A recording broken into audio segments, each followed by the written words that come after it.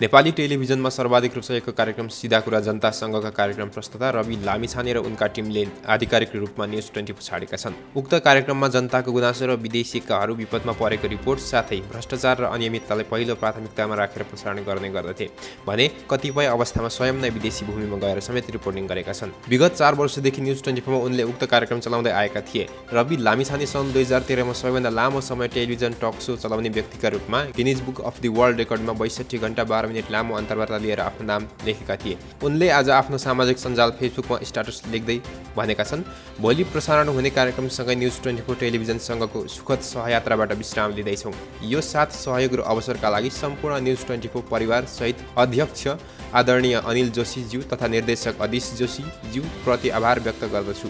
मलाई विश्वास गरी मार्गदर्शन समेत गर्नुहुने आदरणीय निर्मलराज पौडेल र निता पौडेल तथा सम्पूर्ण वेलकम ग्रुपप्रति विशेष आभार व्यक्त गर्दछु।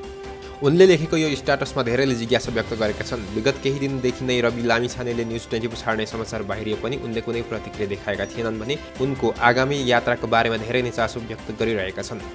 उनले आगामी दिनमा के गर्ने भन्ने विषयको जानकारी नगराए पनि उनी अर्को टेलिभिजन मार्फत चाँडै नै दर्शकमा आउने तयारी गरिरहेको बुझिएको छ। धेरै उनका समर्थकले भने राजनीतिमा आउन धेरै अगाडिदेखि आग्रह गरिरहेका छन्। उनले पनि चितवनमा हिरासतबाट छुटेपछि भने राजनीतिमा आउने सङ्केत गरेका थिए।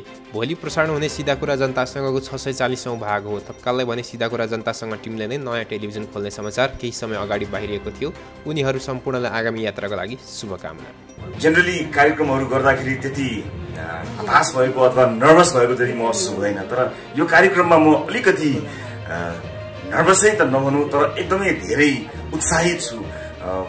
किनकि एउटा अत्यन्तै फरक र प्रयोग गर्ने किसिमको कार्यक्रम भएको हुनाले यो के होला कसो होला भन्ने पीरले यो कार्यक्रमको अवधारणा बनाएदेखि सताइरहेको थियो र अझै पनि त्यो सताउने क्रम बाँकी छ। तर अब त्यो सताइ धेरै लामो रहँदैन किनभने अब आम दर्शकहरू समक्ष र सञ्चारकर्मी मित्रहरू समक्ष यो कार्यक्रमको अवधारणाको केही अंश प्रस्तुत गरिसकिएको छ। यस अर्थमा म यहाँहरू सबैबाट शुभेच्छाको अपेक्षा सबैभन्दा पहिला गर्न चाहन्छु र म विशेष धन्यवाद दिन चाहन्छु ड्यासमा आसिन रहनुभएका एक एक व्यक्तित्वहरूलाई जसको सहभागिता जसको मेहनतले एउटा नयाँ कार्यक्रम नयाँ अवधारणा नेपालमा सुरु हुन लागिरहेको छ।